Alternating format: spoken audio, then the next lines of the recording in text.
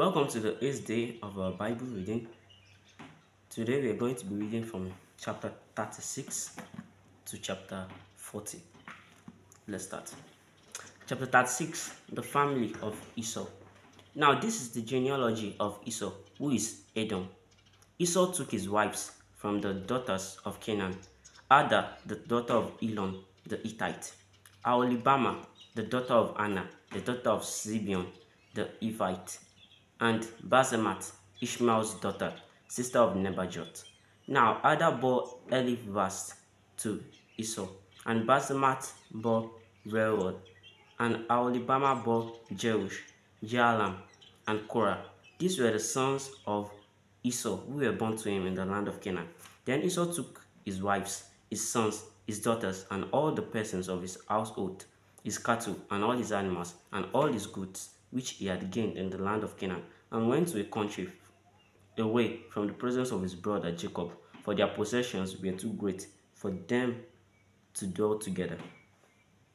And the land where they were strangers could not support them because of their livestock. So Esau dwelt in Mount Seir. Esau is Edom.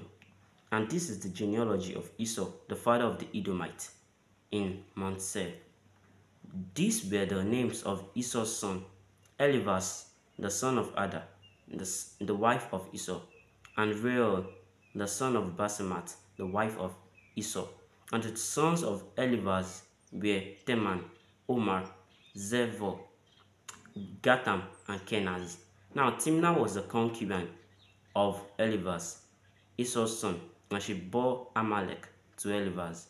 These were the sons of Ada, Esau's wife. These were the sons of Reuel, Naat, Zerah, Shammah, and Mizah. These were the sons of Basemat, Esau's wife. These were the sons of Aholibama, Esau's wife, the daughter of Anna, the daughter of Zibeon. And she bore to Esau Jeush, Jaalam, and Korah. These were the chiefs of the sons of Esau, the sons of Eliphaz. The firstborn son of Esau were Chief Teman, Chief Omar, Chief Zepho, Chief Kenaz, Chief Korah, Chief Gatam, and Chief Amalek. These were the chiefs of Eliphaz in the land of Edom. These were the sons, they were the sons of Ada. These were the sons of Reuel, Esau's son, Chief Nahat, Chief Zerah, Chief Shammah, and Chief Mizah. These were the chief of Reuel in the land of Edom. These were the sons of Basemat, Esau's wife. And these were the sons of Aholibama, Esau's wife, Chief Jeush, Chief Jaalam, and Chief Korah. These were the chiefs who descended from Aholibama, Esau's wife, the daughter of Anna.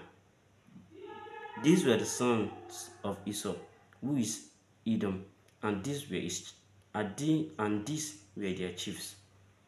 These were the sons of Seir the Horite, who inhabited, who inhabited the land. Lotan, Shobal, Zibeon, Anna, Dishon, Ezer, and Dishan. These were the chiefs of the Horites, the sons of Seir, in the land of Edom. And the sons of Lotan were Ori and Emam. Lotan's sister was Timnah. These were the sons of Shobal, Alvan, Manahat, Ebal, Shepho, and Onam. These were the sons of Zibeon, both Ajah and Anna. This was the Anna who found the water in the wilderness as he pastured the donkeys of his father Zibeon. These were the children of Anna, Dishon and Aholibama, the daughter of Anna. These were the sons of Dishon, Emdan, Eshban, Itran, and Cheran. These were the sons of Ezer, Bilan, Salvan, and Akan. These were the sons of Dishan, Uz, and Aran. These were the chiefs of the Horites. Chief Lotan, Chief Shobal, Chief Zibeon, Chief Anna, Chief Dishon, Chief Ezer, and Chief Dishan. These were the chiefs of the Horites, according to their chiefs in the land of Seir. Now these were the kings who reigned in the land of Edom before any king reigned over the children of Israel. Bela the son of Beor reigned in Edom, and the name of his city was Dinhabah. And when Bela died, Jobab the son of Zerah of Bozrah reigned in his place. When Jobab died, Usham of the land of the Temanites reigned in his place. And when Usham died, Adad, the son of Bedad, who attacked Midian in the field of Moab, reigned in his place, and the name of his city was Avith. When Adad died, Samlah of Masrekah reigned in his place. And when Samlah died, Saul of Rehoboth by the river reigned in his place. When Saul died, Baal Anan, the son of Achbor, reigned in his place. And when Baal Hanan, the son of Achbor, died, Ada reigned in his place. And the name of his city was Pau. His wife's name was Mehetabel, the daughter of Matred, the daughter of Mezahab. And these were the names of the chiefs of Esau, according to their families and their places, by their names. Chief Timnah, Chief Alva, Chief Jetet, Chief Aholibama, Chief Ela, Chief Pinon, Chief Kenaz, Chief Teman, Chief Mibzar, Chief Magdiel, and Chief Iram. These were the chiefs of Edom, according to their dwelling places in the land of their possession. Esau was the father of the Edomites. Chapter 37. Now Jacob dwelt in the land where his father was a stranger, in the land of Canaan. This is the history of Jacob. Joseph, being 17 years old, was feeding the flocks with his brothers, and the lad was with the sons of Bilhah and the sons of Zilpah, his father's wives. And Joseph brought a bad report of them to his father. Now Israel loved Joseph more than all his children, because he was the son of his old age. Also, he made him a tunic of many colors. But when his brothers saw that their father loved him more than all his brothers, they hated him and could not speak peaceably to him. Now Jacob had a dream, now Joseph had a dream, and he told it to his brothers, and they hated him even more. So he said to them, Please hear this dream which I have dreamed. There, there we were, binding sheaves in the field. Then behold, my sheaf arose and also stood upright, and indeed your sheaves stood all around and bowed down to my sheaf. And his brothers said to him, Shall you indeed reign over us? Or shall you indeed have dominion over us? So they hated him even more for his dreams and for his words. Then he dreamed still another dream and told it to his brother and said, Look, I have dreamed another dream, and this time the sun, the moon, and the eleven stars bowed down to me. So he told it to his father and his brothers. And his father rebuked him and said to him, What is this dream that you have dreamed? Shall your mother and I and your brothers indeed come to bow down to the earth before you? And his brothers envied him, but his father kept the matter in mind.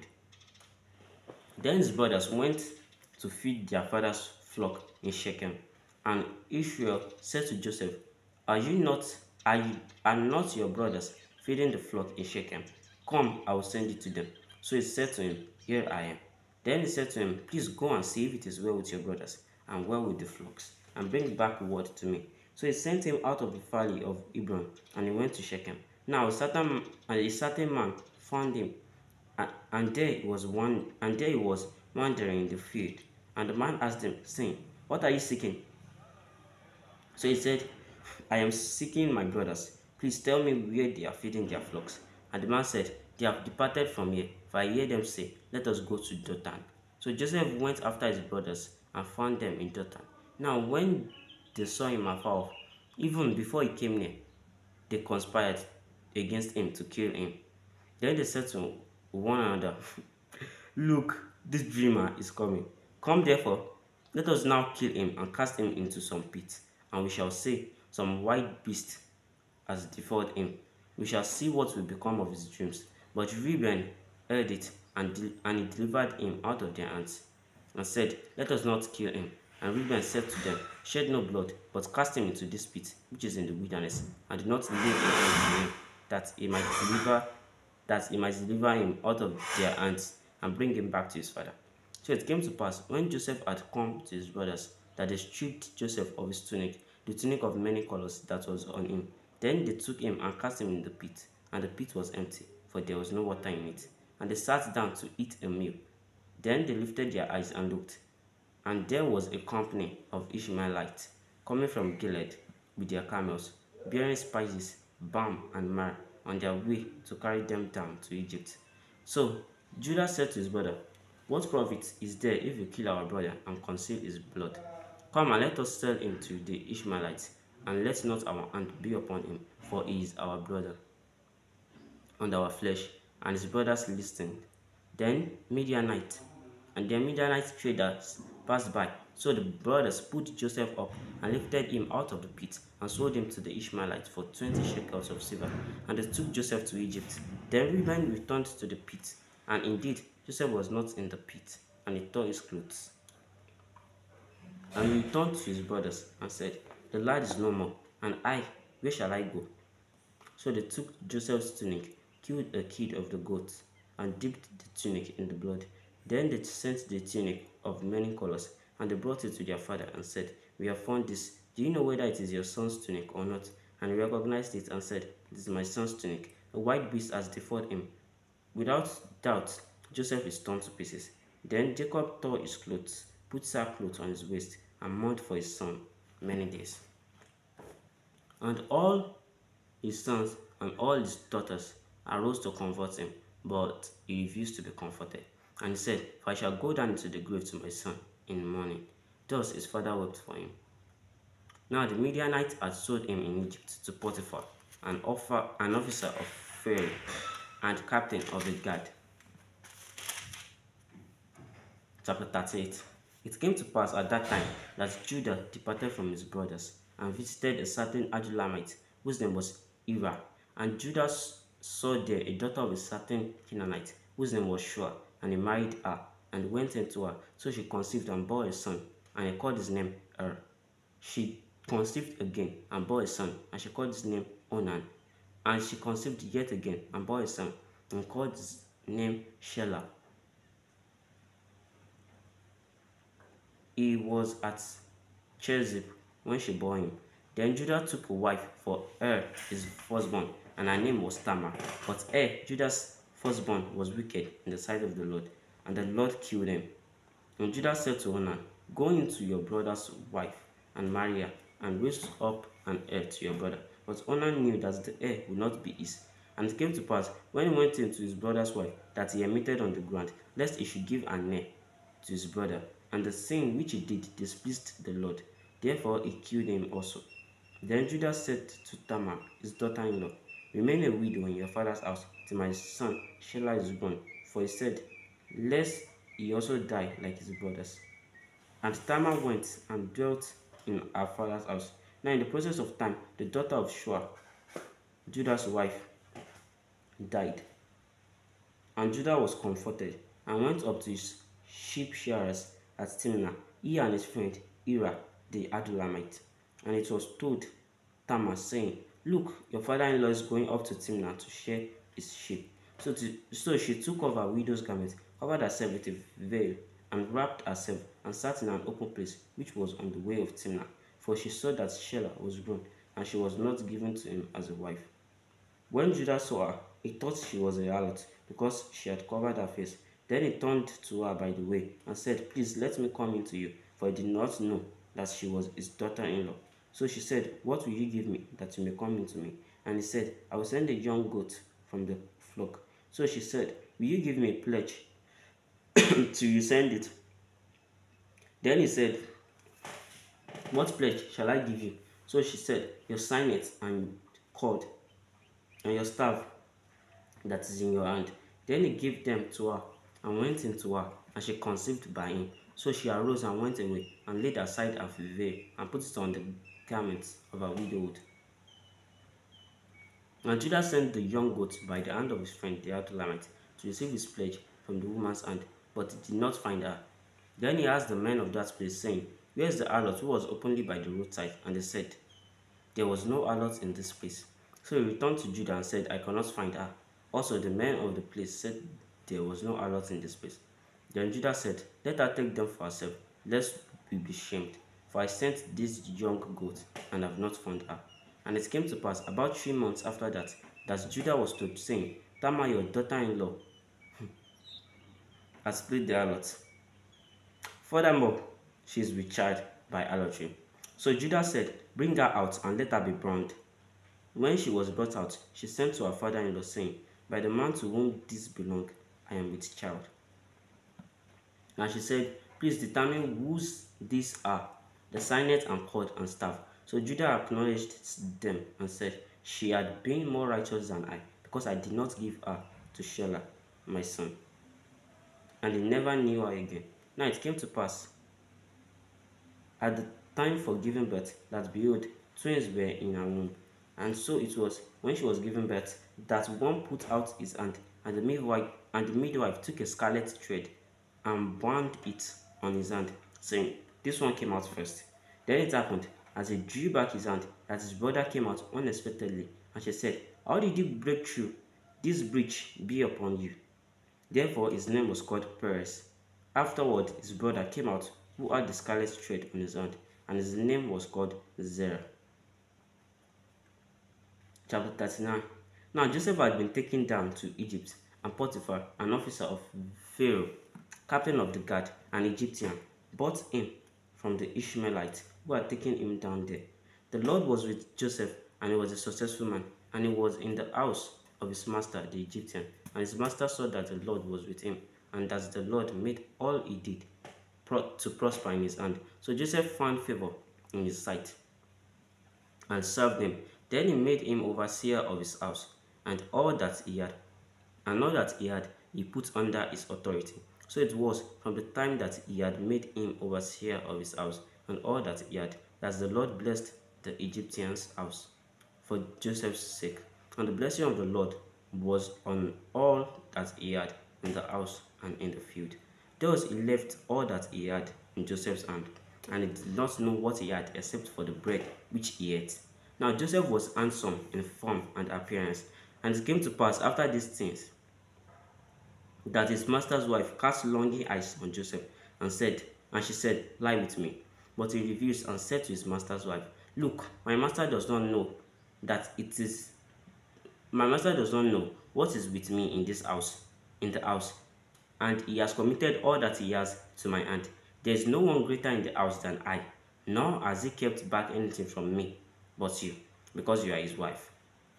How then can I do this great wickedness and sin against God? So it was as she spoke to Joseph day by day that he did not eat her to lie with her or to be with her. But it happened about this time when Joseph went into the house to do his work, and none of the men of the house was inside. Then she caught him by his garment, saying, Lie with me. But he left his garment in her hand, and fled and ran outside. And so it was, when she saw that he had left his garment in her hand, and left and fled outside, that she called to the men of her house, and spoke to them, saying, See, he has brought into he has brought he has brought in to us a Hebrew to mock us. He came in to me to lie with me, and I cried out with a loud voice. And it happened when he heard that I lifted my voice and cried out, that he left his garments with me and fled and went outside. So she kept his garments with her until his master came home. Then she spoke to him with words like this, saying, The Hebrew servant whom you brought to us came in to me to mock me. So it happened as I lifted my voice and cried out that he left his garments with me and fled outside. So it was when his master heard the words which his wife spoke to him, saying, Your servant did to me after this manner, that his anger was aroused. Then Joseph's master took him and put him into the prison, a place where the king's prisoners were confined, and he was there in the prison. But the Lord was with Joseph and showed him mercy, and he gave him favor in the sight of the keeper of the prison. And the keeper of the prison committed to Joseph's committed to Joseph's hand all the all the prisoners who were in the prison. Whatever they did there, it was his doing. The keeper of the prison did not look into anything that was under Joseph's authority because the Lord was with him, and whatever he did, the Lord made it prosper. Chapter 40 The prisoner's dreams. It came to pass after these things that the butler and the baker of the king of Egypt offended their Lord, the king of Egypt. And Pharaoh was angry with his two officers, the chief butler and the chief baker. So he puts them in custody in the house of the captain of the guard in the prison, the place where Joseph was confined. And the captain of the guard charged Joseph with them, and he served them, so they were in custody for a while. Then the butler and the baker of the king of Egypt, who were confined in the prison, had a dream, both of them, each man's dream in one night, and each man's dream with his own interpretation. And Joseph came into them in the morning and looked at them and saw that they were sad. So he asked Pharaoh's officers who were with him in the custody of his Lord's house, saying, Why do you look so sad today? And they said to him, We each have had a dream, and there's no interpretation of it. So Joseph said to them, Do not interpretations belong to God? Tell them to me, please. Then the chief butler told his dream to Joseph and said to him, Behold, I behold, in my dream, a vine was before me, and in the vine were three branches, and I was and it was as though it budded, its blossoms shot forth, and its clusters brought forth ripe, grape, ripe grapes. Then Pharaoh's cup was in my hand, and I took the grapes and pressed them into Pharaoh's cup, and placed the cup in Pharaoh's hand. And Joseph said to him, This is the interpretation of it. The three, the three branches and three days. The three branches are three days. Now, within three days, Pharaoh will lift up your head and restore you to your place, and you will put Pharaoh's, Pharaoh's cup in his hand, according to the former manner, when you were his butler.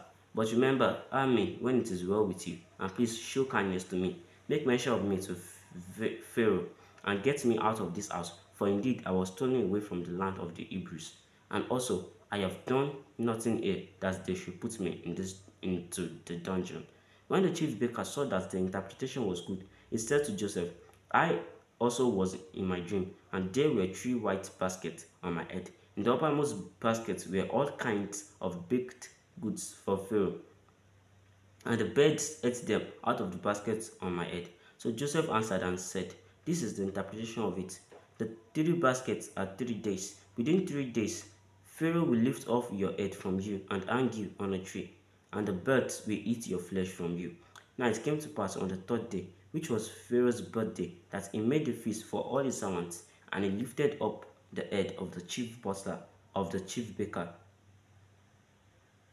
among his servants. Then he restored the chief butler to his butlership again, and he placed the cup in Pharaoh's hand. But he hanged the chief baker as Joseph had interpreted to him. Yet the chief butler did not remember Joseph, but forgot him. Now I've come to the end of today's video. May God bless. May God bless His word. Thanks for watching. Subscribe to see next episode. Subscribe to be notified when the next episode comes out and turn on your notifications. Thank you very much for coming on this journey with me. God bless you. Bye.